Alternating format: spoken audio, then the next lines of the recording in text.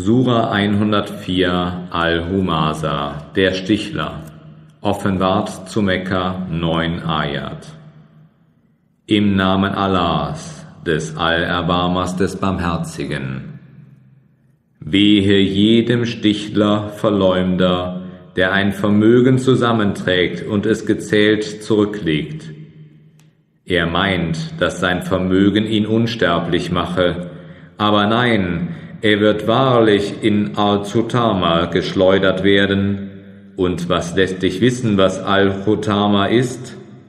Es ist Allahs angezündetes Feuer, das bis zum Innersten der Herzen vordringt. Es schlägt über ihnen zusammen in langgestreckten Säulen.